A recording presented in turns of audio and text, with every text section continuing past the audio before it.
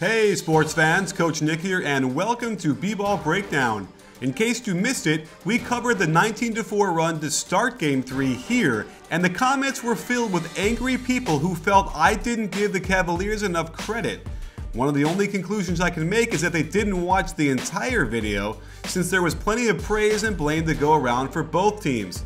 With that in mind, I'll keep track of the positive to negative analysis in this video as we go through the 19-5 run to start the second half that effectively ended this game before the third quarter was halfway through. Let's start with the Warriors opening possession where they curl Klay around Bogut and then break into pinch post action. Curry reads this well and flare cuts to get wide open at the three point line. For some reason, Bogut holds the ball an extra beat, allowing an extra second for Thompson to contest this well and contribute to the miss. The Cavs come down, set a step-up screen on Curry, which gets Barnes on Kyrie. I would have thought they'd prefer Curry on him, but no matter, offense isn't necessary when Kyrie is hitting these kind of tough ISO shots. Good defense, better offense.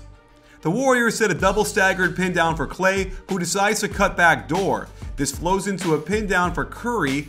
JR makes a poor decision to go underneath the screen, but because he shows good effort to drive into Bogut's body, it forces the ref to call this moving screen, eliminating the ISO opportunity for Curry on Thompson. With a 12 point lead in the crowd behind them, the Cavs clear the right side to ball screen for Kyrie. The defense does a good job to contain and rotate, good contest, but better shot making as Tristan uses the rare and possibly unintentional straight on bank shot from 8 feet out. The Warriors come down and want to run pistol action where Klay gets the handoff into an inside ball screen from Draymond.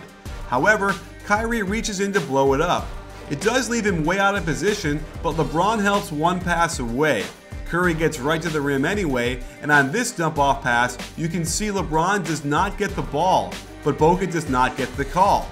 This leads to a fast break and well contained by Draymond in the lane. Good ball movement by the Cavs, and J.R. Smith attacks the glass and forces the foul on Curry.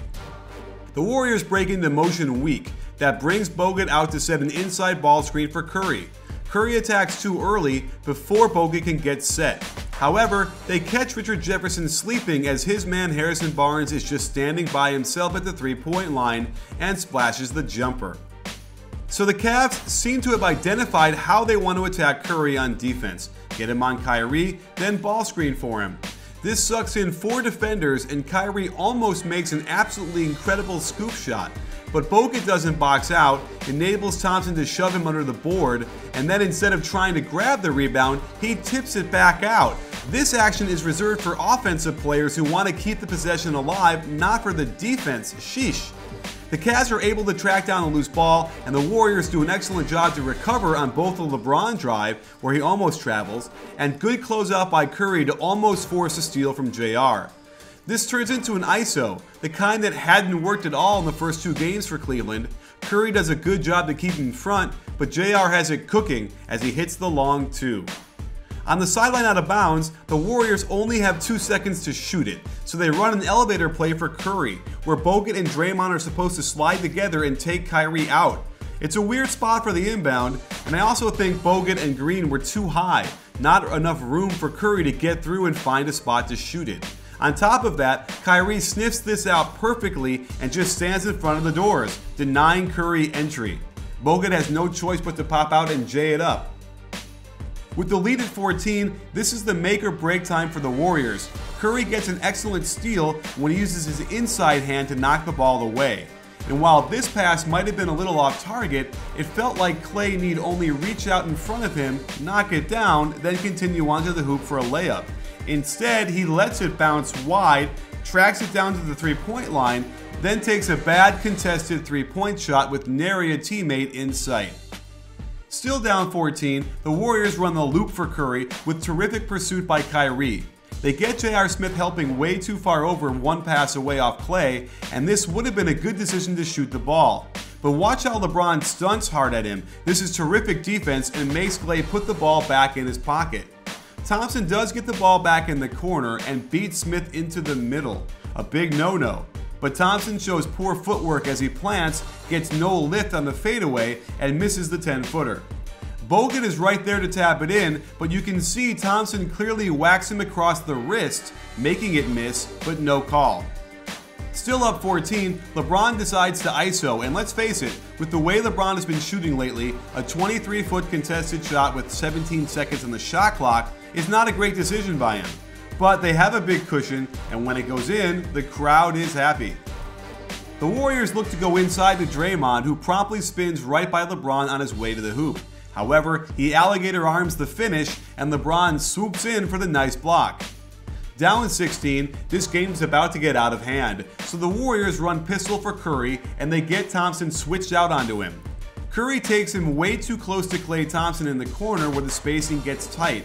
But if you watch this very carefully, you'll see the ball goes right off of Thompson's left foot out of bounds. But the ref can't see this and it becomes a bad turnover. This time, the Cavs decide to not run any offense and allow LeBron to isolate against his old nemesis. With a big lead, this isn't the worst option to choose. That said, the Warriors are happy to give up a 23 footer to LeBron James, but he's got it going in this quarter and extends the lead. On the flare screen for Curry, it forces a switch of Kyrie onto Iguodala. The Warriors waste no time in getting it onto him at the high post, and Iguodala takes Kyrie to the rack and scores the layup. The Cavs try to ISO Kyrie on Curry, but it's well defended by both Curry and Draymond coming over to shadow the ball. Iguodala does something very head scratching here.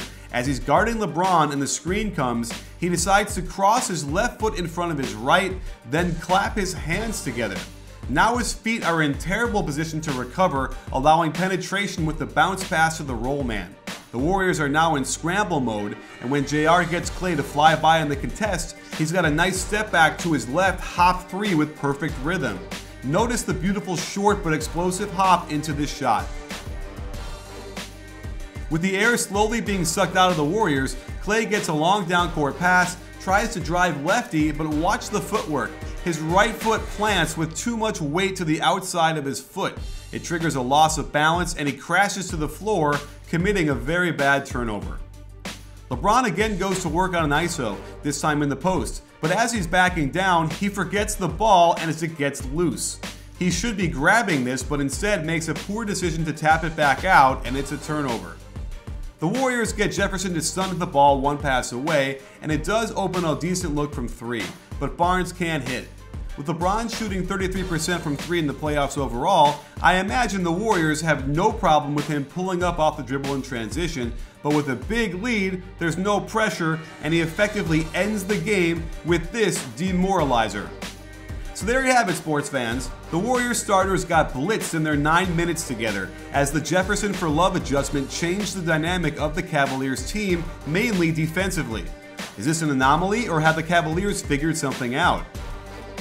The final tally ended up with more Cavs good than anything else, with the Warriors having more bad than good, which matches what happened on the floor.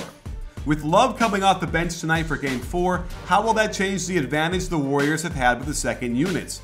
Can the Warriors shake off their malaise and find a renewed focus and energy? There's only one way to find out, so join me tonight on Twitter during the game and right back here afterwards for our live post-game show. You in?